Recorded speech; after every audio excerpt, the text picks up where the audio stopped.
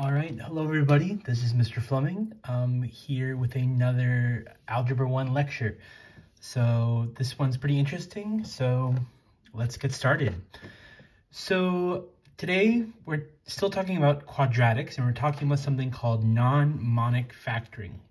Well, let's start. So a quadratic is defined by ax squared plus bx plus c, where a, b, and c are whole numbers. Monic just means that a is equal to 1. So the factoring that we were practicing, you know, like with the x method, those are monic quadratics. Now, non-monic quadratics means that a is not equal to 1. Just like in our first example, 5x squared plus 7x plus 2.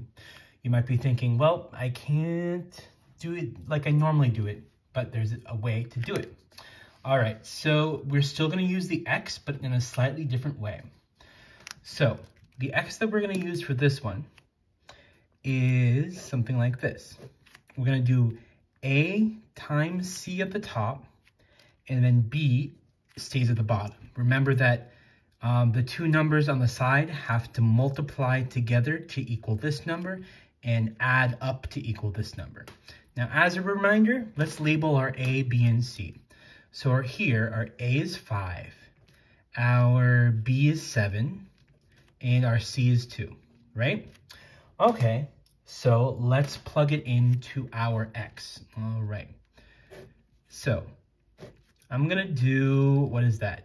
5 times 2, A times C. So I'm going to write 10 at the top.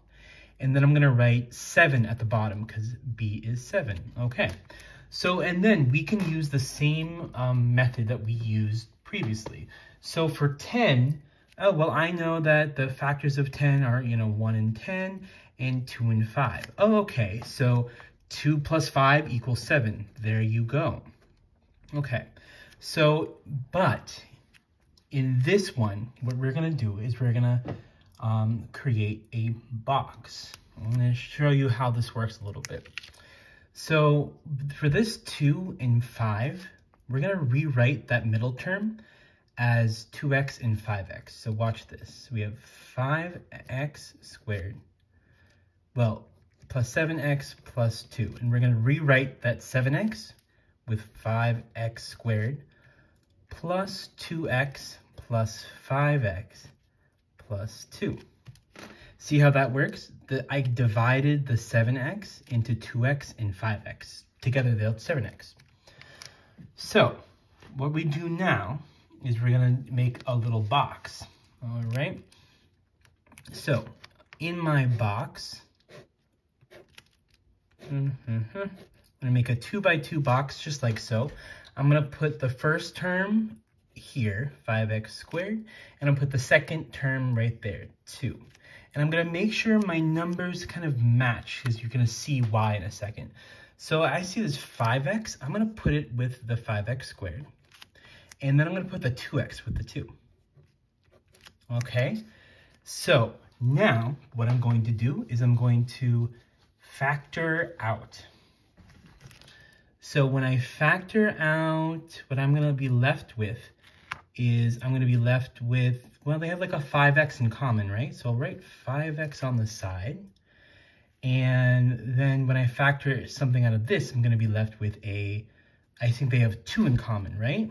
Okay, so I factored out them both, and then I'm going to write, okay, well, I if I factor out the 5x of this, I'm going to be left with x. And then if I factor out a 5x of that, I'm just left with 1. And so I'm going to use the things on the side to create my final answer. So it's going to be 5x plus 2 times x plus 1. Pretty cool. Because remember remember our multiplying um, our multiplying polynomials boxes, so you can use that to do this. It's kind of cool. We're just kind of working backwards a little bit. All right, on to the next um, example. So we have 3x squared plus x minus 2. Again, so our first step is to make our x. And remember, um, we have our a is 3, our b is 1, remember, because there's nothing in front of that x. And then our c is negative 2. All right. So a times c, a times c, 3 times negative 2, that's going to be negative 6. And then our b is just 1. Okay, so then we think of the factors of 6. I think 1 and 6, 3 and 2. Oh, well, I know that if I have a positive 3 and a negative 2, that's going to equal 1. So I'll write positive 3 on this side and then negative 2 on this side. Okay, our next step is our box. So I go to the, the 2 by 2 box like this. Okay, and I'm going to write the first term in the, this corner right here, 3x squared. And I write the second, um, the sorry, the last number in this box over here, minus 2. Okay, and remember that I'm going to put these in x terms. Okay, so I know this 3 is going to go with the 3x squared, right? So I'm going to write 3x here, and then I'm going to write um, negative 2x there. Okay, so now I'm going to factor out the greatest common factor for both of these. All right, so I noticed that these guys have a 3x in common, and I notice that these guys have a negative 2 in common. Okay, when that leaves at the top, well, you know, 3x squared divided by 3x, that's just going to be x. And 3x divided by 3x is 1. So here we have 3x minus 2 and then x plus 1. Not too bad. So we have two more examples because, you know, this is a little bit tricky and there's a lot of steps to it. But remember, make label, make your x, label your a, b, and c, a times c, b, and then figure it out from there. All right, two more examples coming at us. All right, next one ha we have is 3x squared minus 8x plus 4. So again, I do my x. Remember, just a quick review. a times c at the top, b at the bottom. A, we're looking for what multiplies to this, and we're looking at what adds up to b. All right, so our a, b, and c our A here is 3, right? Our B is going to be negative 8, and then our C is 4. All right, so I'll go ahead and make my X again. A times C, I see is 3 times 4 is 12, and then our B is going to be negative 8. Beautiful. Okay, so then I, I'm going to list my little factors of 12, 1 and 12, 3 and 4, 2 and 6. Oh, well, I see this 2 and 6 could work if, if it was negative 2 and negative 6. So I'll go ahead and do that. Negative 6 and negative 2. All right, beautiful. So then I'm going to go ahead and make my 2 by 2 box. Like so and I'm going to put the top term up there, 3x squared. And then I'm going to put the bottom, the C term on the bottom right corner, 4. Okay. And so I have a 6 and a 2. Well, the 6 is going to go with the 3, right? Because 6 and 3, they can be friends. So I'm going to do negative 6x. And then I'm going to do the negative 2 with the 4, so negative 2x. Notice how negative 6x plus negative 2x equals negative 8x. So we're doing something right here. Okay, so then our next step is just to factor out the GCF. So I noticed that these, these two share a 3 and they share an x. So I'm just going to write 3x there. And I noticed that these two share a 2. So, and, but nothing else. But the trick here is, I'm going to do a negative 2 and you'll see why. All right. So then at the top, I notice that, okay, I just multiply by x here, right?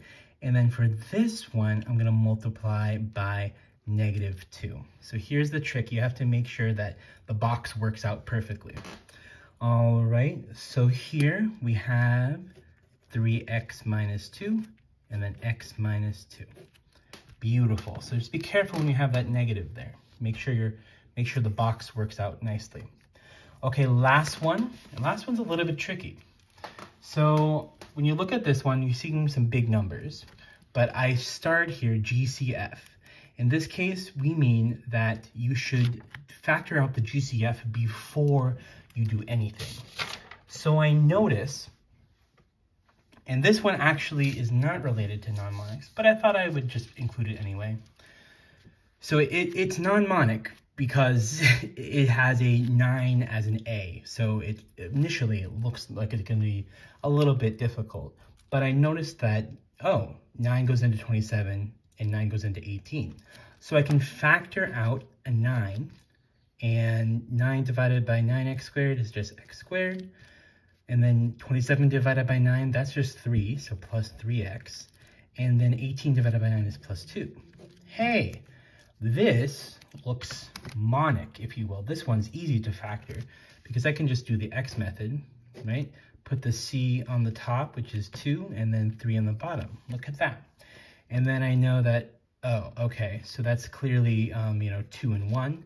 So you have 9, x plus 2, x plus 1. All right, so when you're doing these non-monics, you, you should check that there is no GCF, but that's excellent work. Um, hope everyone's doing well and have a great week.